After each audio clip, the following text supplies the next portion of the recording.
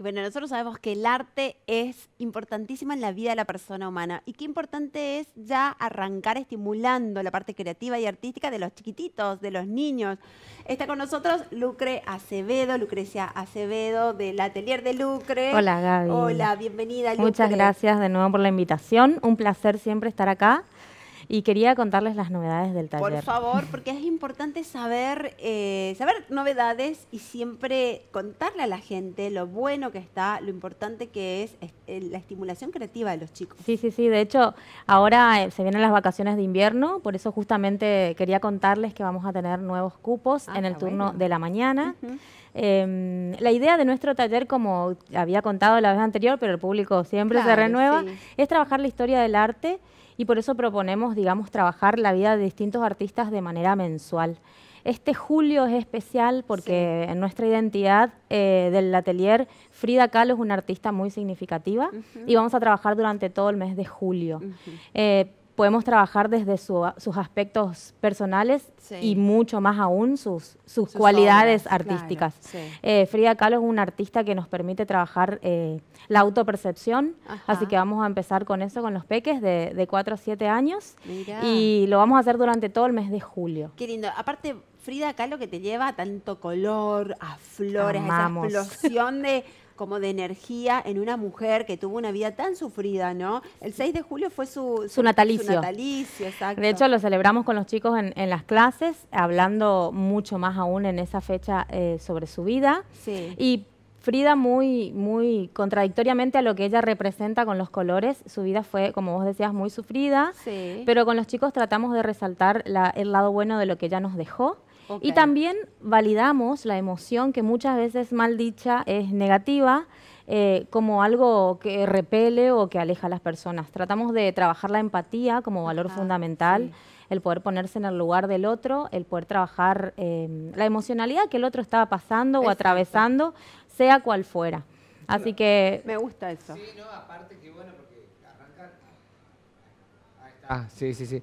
Eh, qué bueno porque arrancan desde muy temprano, desde muy temprano, cuando tienen eh, cuatro años, cinco años, eh, saber lo que es la empatía es fundamental para el Claro. crecimiento, el Para la desarrollo vida. después en la vida, ¿sí? Sí, eh, nuestro espacio creativo, además de trabajar técnicas artísticas, tiene como un eje muy primordial y, y- y- y basado en todo lo que es la emocionalidad, digamos. De hecho, tengo una especialidad en educación emocional y los chicos trabajan desde el poder identificar las emociones no solo en uno mismo, sino también en los demás, que tanta falta hace a nivel Sí, social, ¿no? Totalmente. Y con tantos casos que vemos después cuando ya son un poco más grandes, ¿no? De, por ejemplo, del bullying. Del bullying, sí, y que eso es se la falta de ve. empatía realmente. De hecho, cada cierre de nuestra clase es con un cuento y los cuentos no son elegidos al azar, digamos, trabajamos valores específicos y de hecho el otro día surgió con, a través del cuento La mochila invisible el poder emplear palabras positivas en, en- en reemplazo de las palabras negativas en cuanto a lo que recibimos y lo que damos eh, verbalmente, porque Claro.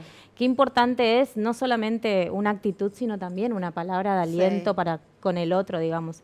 Entonces surgieron conversaciones muy, muy significativas y ricas para chicos tan chicos, como decías vos, eh, desde los cuatro años que puedan verbalizar lo que están viviendo en la escuela o en alguna otra situación, es como muy rico y para mí muy gratificante. No, obviamente, y que, y, y que comiencen a poder manejar sus emociones Sí, tal y, a- cual. y sacarlas para afuera. Ponerlos en palabras, Sí. desde, de- desde el vamos, el arte es un canal emocional ya innato desde que nacemos, digamos, muchas veces después con el tiempo empezamos a dejarlo de lado. Claro, a bloquearlo. Pero la manera que el otro puede identificar lo que siento es con la palabra, digamos. Entonces, eh, brindar espacios de conversación eh, efectiva o conversación que, que sea positiva para poder acompañarlos en las infancias es para mí primordial. Primordial. Claro. Eh, Lucre, ¿dónde queda ubicado?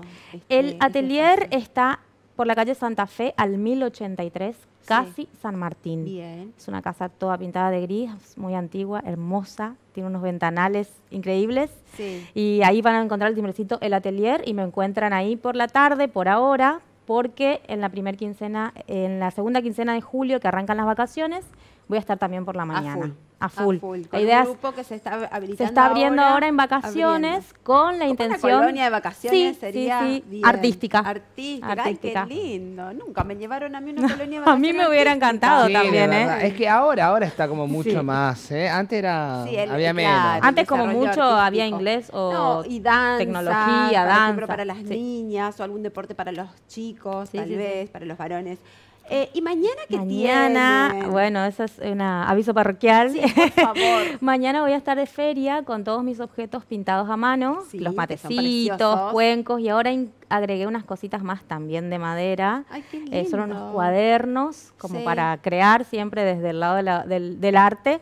Eh, pintados a mano en, la ta- en las tapas y vamos a estar mañana en la Plaza 25 de Mayo Ah, con Ciudad de Diseño, Sí. que conformo ese grupo de emprendedores geniales, no Eh, saben todas las cosas que hay. ¿Ellos se ubican alrededor en la calle o en la plaza? Vamos a estar sobre la calle 25 de Ah, Mayo, bien. pared de la iglesia, digamos, me- no sé si me explico bien, sí, sí, entre. Salta y Buenos Aires. Bueno, Eh, el clima va a estar ideal para andar de paseo, mañana un día patrio. Un así que- mate, unos Mate. Ay, unos pastelitos. Hay cosas ricas para comer Sí, que se venden. churros. Bien, todo. bien. Bueno, esta, ¿Desde qué hora, Lucre? Desde las 16 horas hasta Bien. las 21 horas. Buenísimo. Entonces mañana, Plaza 25 de Mayo, eh, podés ir, pasear, comprar cosas lindas. Se viene el Día del Amigo, además.